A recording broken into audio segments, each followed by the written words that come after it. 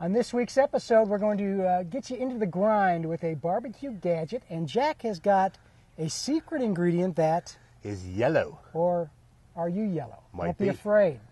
Grill Grate starts right now.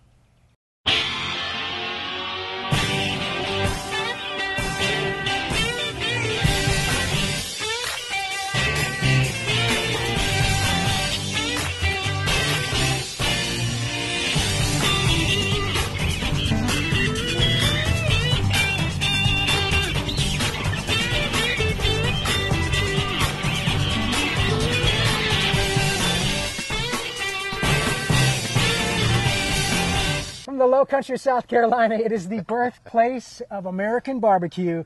The show formerly known as Meatheads TV. We're working on a new name here, Grill Grates. Grill Grates, G R A T E S. Grill Grates. and we'll still we'll work on the uh, the uh, Facebook page, and, and you can still subscribe to us on meatheadstv.com for now. But we'll now. Uh, we'll get it all together here. But uh, we did get some subscribers Excellent. to our uh, email, our FeedBurner e blast. So Beer cheers time. to you. Cheers This to is- you.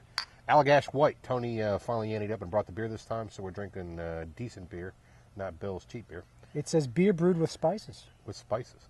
Portland, Maine. Thanks, Tony. It's a nice uh, low country afternoon here, getting late, a little warm. It's beautiful. It's going to be pretty warm here soon. I love But it. we figure we just get right into the show here and get to your viewer mail. You ever want to send it? It's jack at Carolina, Carolina Pitmasters at gmail.com. That's right? us.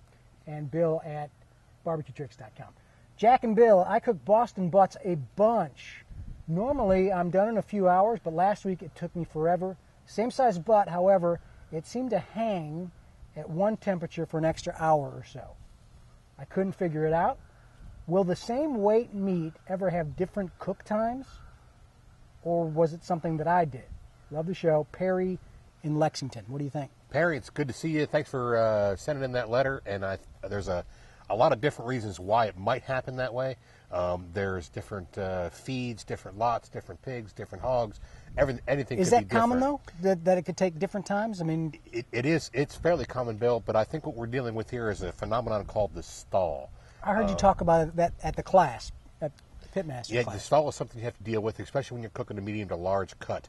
Um, the stall actually happens when the meat is cooking and you're cooking it at a slow temperature. The collagen is breaking down within the meat itself, and once the collagen really starts to break down and it starts to to melt out, it is actually acting as a cooling agent within the meat itself. So the meat is the energy is still coming through the meat and it's still cooking, but the collagen is is is coming out of the cut and it's actually cooling down your thermometer. So what you're getting is a long period of time until all the collagen melts out, a time period where the thermometer is going to sit at the same temperature. A So- good go ahead. So it always happens in, in, in some way, but maybe not as. It always happens in some way, especially when you're dealing with a fatty cut like a Boston butt. Um, a good pitmaster deals with the stall by allowing it to happen. Um, it's, it's a lot of times guys I'll tell you what I'll through. do. I'll God pick it up and I keep. I said, man, it's still the same thing. I'll shut it and I'll go back five minutes later, open it up again, try the temperature again, and it's still not there. And I bet that just increases the problem. It, it? it does. Once you open the lid up, then you're losing your uh, forward uh, momentum on the cook. A lot of guys will uh, go ahead and uh, turn the temperature up on the grill, thinking that something's going wrong with the. the it must be the thermometer's problem, so I'll turn the grill up. And what you're actually doing at that point in time is going against what goes on with barbecue because you're not allowing the collagen to come out. Once your meat gets above 212, then the cell structures start to seize up rather than open up, and that makes a tough cut rather than a succulent, tender cut of barbecue that you really want to have. Wait the stall. Don't rush it. Wait the stall. Work and with it. sometimes you got to give yourself enough time in case you have the stall. I guess. Yeah, you you should allow yourself. so I've had meat sit in the stall three, four hours before it comes through, especially when you're cooking a whole hog. It's something you really have to expect to have happen. Um, brisket does the same thing. Uh, pork does the same thing. Just wait to stall out. Um, as a matter of fact, some of the best pitmasters I know will actually reduce the temperature of the cooker during the stall to allow all the collagen to, to, to break loose and get out of the uh, out of the meat. The collagen, the collagen is what actually makes the meat moist and tender. What's left of the collagen is what actually And makes it's got to it and get flavorful. at hog. It's got to be or, or butts. It's got to be like 190, right? Yeah, and 190 is your is your end temperature. That's what you're cooking towards is 190 for your finished temperature. The Give stall yourself happen around plenty of time. 175. Plenty Give of yourself the time. Wait for the stall. Enjoy it. Uh, drink another beer. Make another drink. Thanks, Perry. instead of opening the lid, That's open a beer Open a beer. relax. Um, for our hot on the market grilling gadget today, uh, I thought this was a cool little gadget. Oh, Take a peeky, Bill. gadget time. This is Bill's version. It's the this is the mortar and pestle. Um, the mortar and pestle. Hey, you got to oh, you hold your beer there. You're good. The mortar and pestle is for grinding. Um, it's for grinding spices and, and, and herbs and stuff like that together. So a lot, what a lot of guys do is they will toast their own seeds, uh, cardamom, cumin, those kind of things.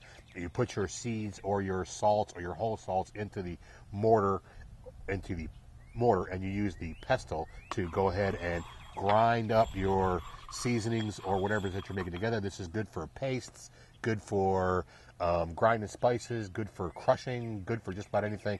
A must-have if you're into doing rubs. That's a good and and and these things aren't that expensive. They can be.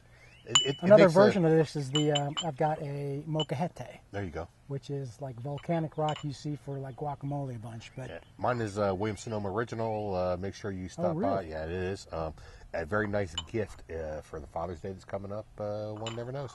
Good stuff right here. we'll find some links and put them up there as William well. Sonoma. All right. Uh, so our website of the week this week is I thought uh, a pretty good one. Uh, you guys are you're involved with them too. The Smoke Ring. Smoke ring, good stuff. SmokeRing.com. And if you got a website about barbecue, just log on thesmokering.com. It'll it's basically a ring of websites, so you It can is. click through one to the other to the other to the other. And you keep on going. There's got to be 500 of them on there if there's one. Uh, to be a member of the Smoke Ring is easy as well. My friend Gary Howard uh, is the one that started the Smoke Ring, uh, and it's a tremendous place to be able to go. They also have a great forum there, a big uh, chat forum there uh, at the Smoke Ring, and there's a lot of good barbecue information that gets uh, exchanged on that site as well. thesmokering.com. All right, Great our stuff. secret ingredient.